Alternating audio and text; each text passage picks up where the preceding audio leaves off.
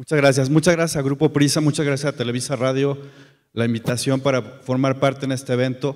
El secretario conoce muy bien lo que Santander a través de Universia y Santander Universidades hace en materia de educación superior. lo que buscamos en términos de vinculación entre la educación superior, entre la universidad, los estudiantes y la empresa, y qué mejor que empezar por el principio, ¿no? que son todos ustedes, ayudarlos, guiarlos a tomar la mejor decisión, una, una decisión que va a ser muy importante en su vida, y la verdad es que para nosotros es un, un gran honor y estamos muy contentos de que el secretario Nuño nos acompañe. Sin duda les va a dar un testimonio muy gratificante, muy enriquecedor. Él tiene una experiencia profesional, a pesar de que es muy joven, tiene una gran experiencia profesional. Y la decisión que él tomó, bueno, pues sin duda yo creo que ha sido de las mejores, por eso está donde está. Y qué mejor que contar con su ejemplo y que ustedes lo escuchen. Secretario, muy buenos días, muchas gracias por acompañarnos y pues el escenario es tuyo. Muchísimas gracias. Eh, muchas gracias y muchas gracias eh, por esta invitación país. Juan Luis, muchas gracias, eh, por supuesto a Santander.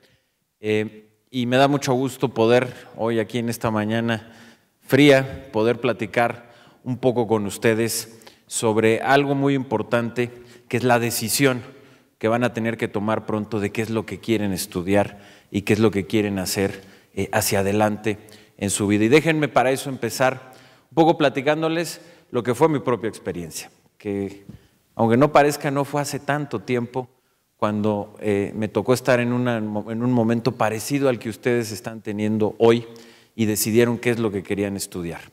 Eh, el tener las dudas, el no saber, el ver diversos referentes y al final del día cómo tomar la decisión para estudiar algo que te guste, que te apasione, que te llene, que te dé las herramientas, los conocimientos, lo que quieres tener para más adelante poderte dedicar a lo que quieras y poder hacer el plan de vida que, que, hoy tienes o que quieres ir haciendo a lo largo de la vida, cumplir con tus metas, con tus sueños, poder al final del día escribir una historia de éxito.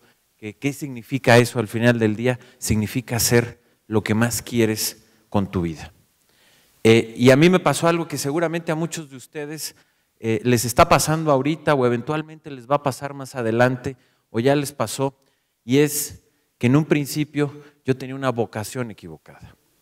Cuando yo tenía más o menos su edad, cuando estaba en el último año de la preparatoria, yo pensaba y estaba convencido que lo que quería hacer era arquitecto. Y pensaba esto, como a lo mejor les pasa a muchos de ustedes, simplemente por un referente eh, personal. Mi papá es arquitecto y yo pensaba que a mí también me gustaría ser arquitecto para seguir los pasos de mi papá, que era pues un ejemplo que yo había tenido. Y, de esa manera, por ejemplo, entré muy rápido estando en la prepa en área 1, que es precisamente hacia donde se enfocan a quienes quieren estudiar ingeniería o arquitectura, y muy rápido, afortunadamente, me di cuenta que esa, esa no era mi vocación, que mi vocación estaba en un lado absolutamente distinto, que mi vocación estaba eh, mucho más por el lado de las ciencias sociales, por el lado de la historia, por supuesto por el lado de la política. También derivado de una experiencia posiblemente personal, como seguramente a muchos de ustedes les ha pasado.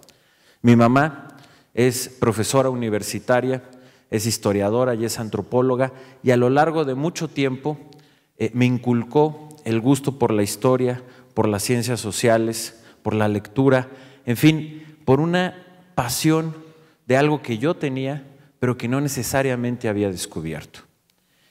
Y eh, al tenerme que enfrentar, cuando yo pensaba que lo que yo quería hacer en la vida era ser arquitecto, y cuando me tuve que enfrentar a, a las primeras materias en la preparatoria, en área 3, dirigidas hacia allá, y me di cuenta que no, y me di cuenta que lo que verdaderamente me apasionaba, lo que me, realmente me vibraba, lo que me hacía eh, latir el corazón, estaba en otro lado, y estaba en las ciencias sociales, y estaba en la historia, y estaba en la política y en la vida pública, es que decido cambiar y decido estudiar ciencias eh, políticas.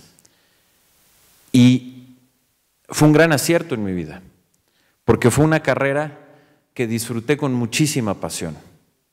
Una carrera que no nada más me gustaba, sino que me apasionaba profundamente, que me gustaba hacer lo que estaba haciendo, que me gustaba estudiar lo que estaba estudiando, que me gustaba leer lo que, lo que leía en las, en, las, en, las, en las materias, en mis clases, y que eso era a lo que me quería dedicar, o que era un principio de estudio de lo que me quería dedicar. Y así fue encontrando lo que sin duda ha sido la pasión, o lo que es la pasión de mi vida, que es el servicio público, que es la política, y por supuesto eh, el estudio que tiene que ver con todo, con todo esto. Después tuve la oportunidad de eh, estudiar un posgrado en el extranjero, eh, la suerte de tener algunas becas y poder estudiar fuera en los mismos temas. Eh, hice una maestría en estudios latinoamericanos en la Universidad de Oxford, donde eh, me concentré en temas de historia e igual de política comparada. Una vez más pude encontrar un espacio de algo que me apasionaba. Y en ese sentido, yo básicamente lo, único que les puedo decir y lo que les quiero dejar el día de hoy en este espacio tan importante eh, que tienen hoy para poder encontrar opciones de lo que quieren hacer hacia adelante, es, primero, que no hay que desesperarse. Segundo, que es normal que uno dude y que uno cambie o que tenga cambios muy drásticos entre algo que uno pensaba que es lo que eh, realmente le gustaba, por seguir un ejemplo, eh, porque en algún momento pensó que le gustaría hacer tal o, cual cosa, eh, pero que tengan paciencia para decidir, porque lo más importante es que puedan encontrar lo que es su verdadera vocación. No hay nada más importante y satisfactorio en la vida que dedicarte a lo que más quieres. E incluso no nada más a lo que te gusta. Si ustedes pueden encontrar una pasión, que verdaderamente los mueva, que verdaderamente les haga levantarse todos los días con eh, la fuerza y la emoción de que van a ir a estudiar o que están trabajando o se van a dedicar en algo que realmente les apasiona, les llena, que le da sentido a su vida, puede ser una de las mayores fuentes de felicidad. Y en ese sentido, reitero, no hay que precipitarse en tomar el paso tan importante que próximamente van a tomar. Hay que informarse bien porque además les puede pasar como me pasó a mí, que eh, cuando cobras conciencia de ciertos temas o cuando tienes un poco de más información, encuentras algo que ni siquiera estaba en tu horizonte y que resulta que es lo que realmente te apasiona y que es lo que realmente quieres hacer. Y por eso, este tipo de encuentros, este tipo de ferias que está organizando eh, el Grupo El País, Santander, eh, son tan importantes, porque aquí van a encontrar diversos elementos que les van a permitir tener una orientación y conocer más, en gran medida conocerse más a ustedes mismos para poder tomar la decisión, eh, para poder tomar la decisión más adecuada. Hay muchas razones, les repito, para decidir cuál es la razón más adecuada. Les van a decir, además, siempre hay la opinión de todo mundo, este, en su familia, sus amigos, que les van a dar diversos argumentos de por qué tienen que hacer X o Y. Y hay que escucharlos. Pero lo más importante es lo que ustedes mismos eh, sientan, lo que su impulso les diga. Por supuesto hay que estar bien informados. Hay muchas carreras que son muy demandadas, como por ejemplo contaduría y hay otras carreras mucho menos demandadas, pero que tienen un futuro mucho mayor en el empleo. Por ejemplo, todos los temas que tengan que ver con energía. Ingenierías relacionadas con la energía o temas relacionados con, ingenierías renovables, con energías renovables son temas que en México en el futuro van a generar muchos empleos. Y esa también es una buena razón para tomar una decisión. La reforma energética ha abierto eh, una gran oportunidad que se irá consolidando en los próximos años cuando ustedes terminen la carrera. La diversificación del mercado energético y los empleos que va a ofrecer van a ser grandes. Y ahí se están abriendo muchas carreras nuevas. Esa es una área de posibilidad si es que eh, ese tipo de temas eh, les gustan. Otras áreas que se abren en México que a lo mejor no son tan conocidas o populares son todo lo que tiene que ver con la industria aeroespacial.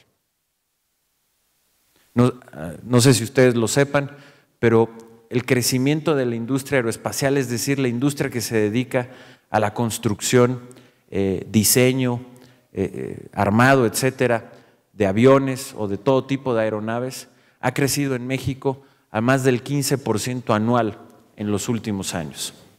Y es, y es una industria que va a seguir creciendo porque México se ha hecho muy competitivo, como lo ha hecho también en la industria automotriz, en donde somos ya el séptimo productor del mundo y el cuarto exportador del mundo de automóviles. Y ahí se abren también muchas oportunidades de carreras nuevas, en donde seguramente van a encontrar empleos muy bien pagados y muy bien remunerados hacia adelante. Y así, que ustedes puedan encontrar en este espacio las oportunidades que se les van a abrir a cada uno de ustedes, conociendo el entorno de la economía que van a tener en las próximas décadas, es información que les servirá para tomar una decisión acertada y adecuada. Y por eso es importante que se informen, pero les reitero, más allá de que tomen todos esos elementos que son clave y que son cruciales, si yo les puedo dejar un comentario, es que tengan paciencia y que sigan lo que más les gusta. Busquen lo que les apasione. Busquen qué es lo que los mueve. Busquen eh, cuando vean las diversas carreras que pueden estudiar, busquen la que digan, si yo me dedico a esto, si yo estudio esta ingeniería o estudio esta otra carrera, voy a ser plenamente feliz, porque voy a estar haciendo algo que me apasiona, algo en donde le voy a encontrar sentido a mi vida y en donde voy a ser feliz, y en donde voy a poder construir mi propia historia de éxito, que reitero, ¿qué significa eso? Significa que ustedes se puedan dedicar a lo que más quieran en la vida. Así que pues me da mucho gusto el haber podido, aunque sea saludarlos, convivir rápidamente con ustedes. Eh, decirles que aprovechen mucho este espacio, volver a felicitar a eh, eh, el grupo Prisa, al país, a Santander, por este impulso que está dando algo tan importante, que es el dar elementos para que ustedes puedan tomar una decisión inteligente para su futuro. Así es que aprovechenlo mucho, disfrútenlo también, están en una edad de disfrutar, de vivir plenamente, de ser felices, y les reitero, tomen con toda amplitud la información que van a recibir y sobre todo tomen una decisión con muchísima pasión. Muchísimas gracias a todos.